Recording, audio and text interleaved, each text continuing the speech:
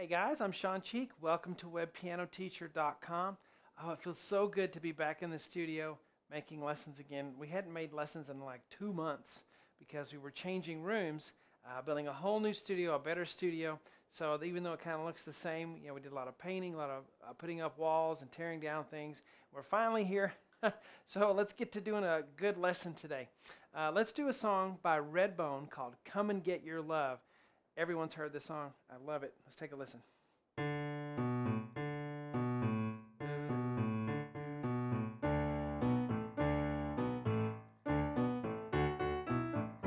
Come and get your love.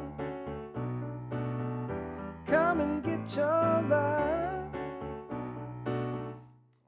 Right, that's just a fun song to do, right? Guys, welcome to webpianoteacher.com, our online piano community where we gather together to learn, play, and share the music that we love, creating a culture of encouragement for all you guys out there who are trying to learn to play piano online. You can do it if you pick the right lessons and you know how to practice. That's what I'm going to help you to do right now. So, all right, I got the camera changed. We're on the different side this time, so I got to get used to this. all right, we're going to start here with our part one lesson, and we'll do the part one. The rest of the lessons for this series are only on my website, webpianoteacher.com. If you are a member, you can download the sheets for this as well as any other sheets on the website. I have like 7,000 lessons now. I've Been doing this for almost 14 years, and I love every minute of it. Um, so let's get started with our part one, okay? As we look at the board, we see this little bass line. So we'll start off with that. And uh, I'll start with my thumb. All right, so we have our D right here. Here's middle C, so we're down from that, okay? B, D. Now, guys, this is not a beginner lesson. If you're a very beginner student, you need a very beginner lesson. I have lessons for you on the website. If you do my easy piano lesson series, it'll really give you that great foundation, that great start you need without making you frustrated and wanting to quit. All right, so D, B, A. I'm going to use fingers two and three for that. D, B, A, D.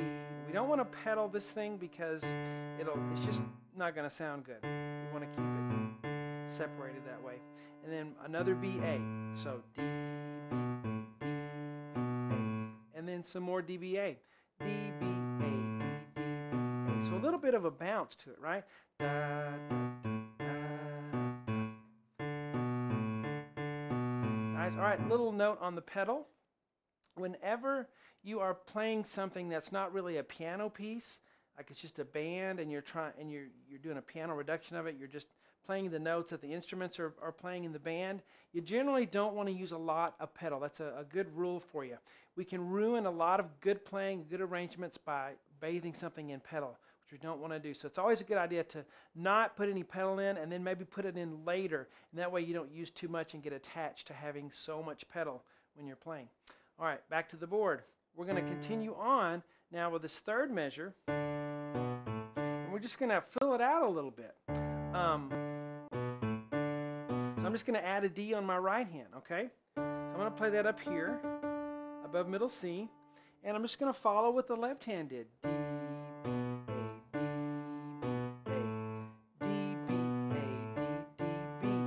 See, that's the same thing we did over here. Now, a little variation you could have on that is you could play it really low. You could go, and then add You know, you could play it an octave lower, or you could play it where we did. This is what I like to do. If you're able to play octaves, that's a, a good way to fill it out. Have your left hand play the octaves, B, A, D. If you're able to do that, if you're not proficient enough to do a lot of octaves yet, then don't worry about it. Uh, the parentheses is just for later on. You hear do, do, do, do. Another instrument does that, right? So F sharp, F sharp, E, D. So you can optional uh, put those notes in there if you want to. F sharp, F sharp, E, D. All right, and then uh, we'll get into the chords after that. One more time from the beginning, and go. One, two, three, four, one. Add the right hand.